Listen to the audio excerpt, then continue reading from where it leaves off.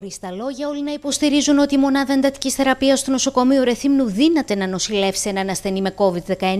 Στην πράξη όμως αυτό δεν ισχύει και δεν πρόκειται να γίνει όσο δεν ενισχύεται με τουλάχιστον δύο επιπλέον εντατικολόγους.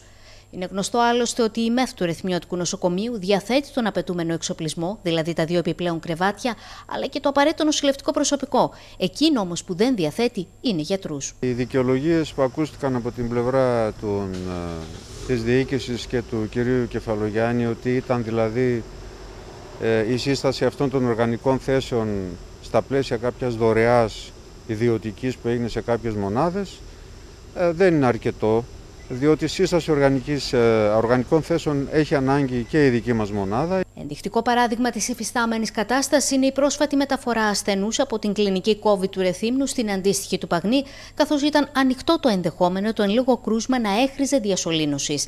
Κάτι το οποίο στο Ρέθμνο δεν θα μπορούσε να γίνει. Εάν χρειαστεί βέβαια διασωλήνωση ε, και νοσηλεία στη μονάδα, επίσης η μονάδα δεν διαθέτει ειδικό κρεβάτι ε, για τους ασθενείς αυτής της κατηγορίας. Στην κόψη του ξηραφιού όμως βρίσκεται και ο παθολογικός τομέας και σχεδόν στην ίδια μοίρα και η πνευμονολογική κλινική, γιατροί των οποίων αδυνατούν πλέον να εξυπηρετούν τις αυξημένες ανάγκες της κλινικής COVID. Λόγω της υποστελέχωσης λοιπόν έχουμε δηλώσει, σαν παθολογικός τομέας, ότι δεν μπορούμε να στηρίξουμε τις εφημερίες της κορονοκλινικής.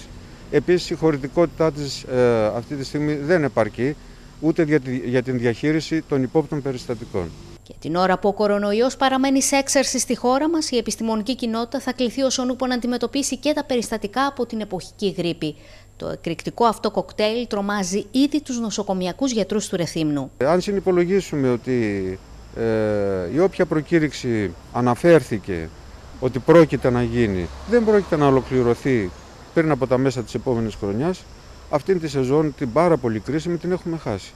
Θα αναγκαστούμε δηλαδή με το λιγοστό προσωπικό που έχουμε να αντιμετωπίσουμε τις αυξημένες ανάγκες οι οποίες θα προκύψουν.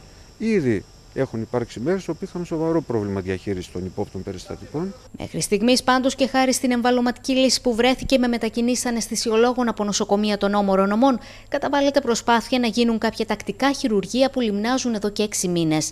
Ο Γιάννης Αριδάκης, ωστόσο, μιλώντας στην Κρήτη TV, εμφανίστηκε ενοχλημένος από τη στάση που τήρησε ο κυβερνητικός βουλευτής, ο οποίος συμμετείχε πρόσφατα σε σύσκεψη για τις ελλείψεις στο Ρεθμιώτικο Νοσοκομείο, στην οποία όμως ουδέποτε κλήθηκαν οι νοσοκομιακοί γιατροί. Θα ήθελα να διαμαρτυρηθώ δημόσια, διότι η Ένωση Γιατρών Εσύρη Θύμνου δεν προσκλήθηκε ούτε καν ενημερώθηκε ε, για την επίσκεψη του Υφυπουργού του κυρίου Κεφαλογιάννη στο νοσοκομείο Ρεθύμνου.